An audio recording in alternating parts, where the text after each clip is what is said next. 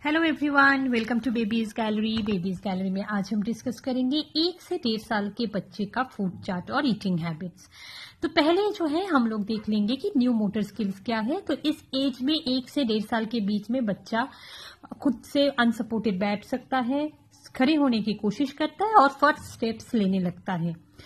तो ये सारी चीज़ें जो है, वो एक से डेढ़ साल के बीच में यूजुअली बच्चा अटेंड कर लेता है। अभी ये ज़रूरी नहीं है कि हर बच्चा चीज़ें साथ में करे। कोई थर्टीन मंथ्स में वॉक करने लगता है तो कोई सिक्सटीन मंथ्स में वरी करने की बात नहीं है। तो इसके बाद हम लोग देख लेंगे कि ईटिंग हैबिट्स क्या क्या है, या फिर चेनाई चेंजेस क्या क्या है। तो आप काउ मिल्क या होल मिल्क अभी इंट्रोड्यूस कर सकते हैं? कंसल्ट डॉक्टर कंसल्टेशन के बाद।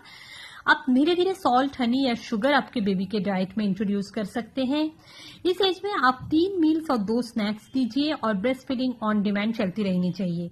डब्ल्यूएचओ के रिकमेंडेशन के हिसाब से ब्रेस्ट फीडिंग दो साल तक होनी चाहिए तो उसके हिसाब से आप ब्रेस्ट फ़ीड ज़रूर करते रहिए। इसके बाद हम लोग देख लेंगे कि इस एज में मेन चीज़ें जो है वो क्या इंट्रोड्यूस कर सकते हैं हम लोग खाने में या फिर नए चेंजेस क्या है खाने में।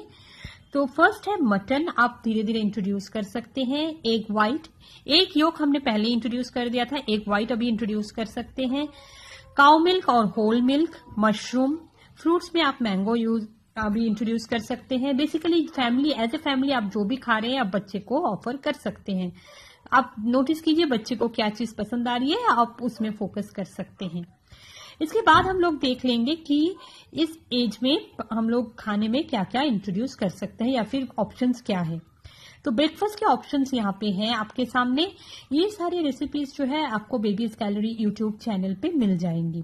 तो ब्रेकफास्ट में ओट्स खीर, दलिया खीर cornflakes banana smoothie oats banana smoothie upma, सूजी कैरेट खीर, पोहा खीर पिंक ओट्स सूजी apple kheer, sattu with banana मखना खीर, चिल्ला pancakes vegetable poha cornflakes mango smoothie idli dosa ये सारे ब्रेकफास्ट के ऑप्शन हैं। इसके अलावा भी अगर आप ब्रेकफास्ट में कुछ और खा रहे हैं तो आप बेबी को ज़रूर ऑफ़र कीजिए। ये सारे सिर्फ़ सजेशंस हैं और इनके रेसिपीज़ यूट्यूब चैनल में है तो आप आसानी से बना सकते हैं। इसके बाद हम लोग देख लेंगे कि मिड मॉर्निंग में बच्चे को क्या क्या ऑफ़र कर सकते हैं या फिर मिड डे में।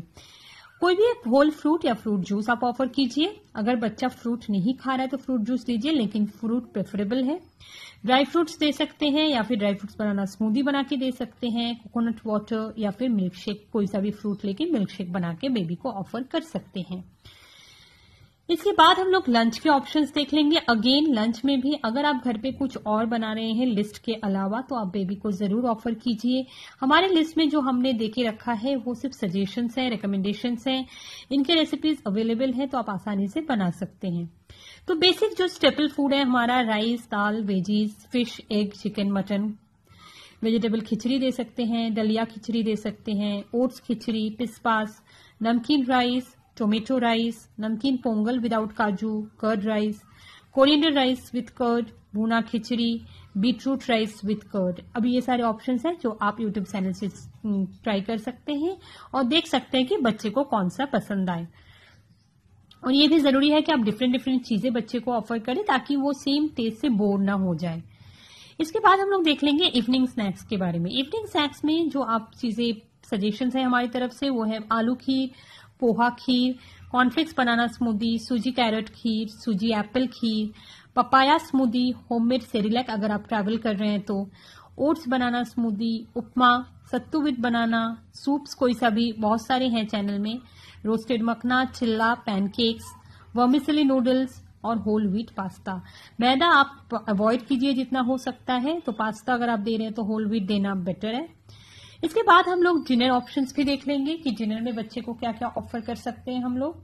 तो डिनर में भी जैसे रेगुलर हम लोग खाते हैं घर पे राइस दाल बॉइल्ड पोटेटो राइस दाल एग खिचड़ी, दलिया का ओट्स का या फिर चावल का होममेड सेरिलैक अगेन अगर आप ट्रैवल कर रहे हैं तो chapati soaked in milk chapati with dal. चपाती का पहले आप फुल्का दे सकते हैं, ऊपर का छिलका जो है, वो देख सकते हैं धीरे धीरे बच्चा खाने लगता है तो आप पूरा चपाती दे सकते हैं या फिर चपाती विद सब्ज़ी। इसके बाद हम लोग देख लेंगे बहुत सारे क्वेश्चंस आते हैं हमारे पास कि इस एज में मिनिमम वाटर इनटेक या फिर मिनिमम मिल्क इनटेक क्या होनी चाहिए? तो वो हम बता देते हैं आपको कि इस एज में अराउंड एक से डेढ़ साल के बीच में बच्चे को जो है अराउंड सेवन एट फिफ्टी से नाइन हंड्रेड एम तक इंक्लूडिंग ऑल फ्लूड्स तो अगर आप बच्चे को सूप ऑफ़र कर रहे हैं या फिर uh, जूस ऑफ़र कर रहे हैं, वो सब मिला के एट फिफ्टी एम होना है। Daily milk intake four hundred M including all dairy products तो अगर पनीर चीज़ ये सब दे रहे हैं तो वो सब मिला के फोर हंड्रेड एम से ज़्यादा मिल्क या डेयरी प्रोडक्ट्स नहीं देना है। इस एज में जो है बच्चे को अपने आप खाने देना बहुत इंपॉर्टेंट है। इससे उनका ग्रेस्पिंग पावर आता है। खाने के तरफ़ इंटरेस्ट आता है।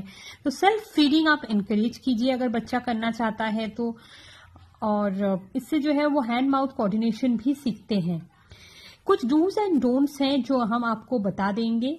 तो डूज में जो है सेल्फ फीडिंग आप इनकरेज कीजिए। बच्चे को फ़ूड पोर्शन डिसाइड करने दीजिए। बच्चे को कितना खाना है उतना ही खाने दीजिए। बॉटल्स विन ऑफ़ कर दीजिए इस एज में। फोर्स फ़ीड मत कीजिए। खाने के टाइम पे टीवी या मोबाइल मत दीजिए। प्यूरीड फूड्स मत दीजिए। और thank you for watching us अगर आपको हमारा वीडियो पसंद आए तो लाइक शेयर सब्सक्राइब करना मत भूलिए। और हमारे एफपी और इंस्टा पेज पे भी ज़रूर फीडबैक दीजिए कि आपको हमारा वीडियो कैसा लग रहा है। डिस्क्रिप्शन में आपको इंस्टाग्राम और एफपी का पेज का लिंक मिल जाएगा। Thank you so much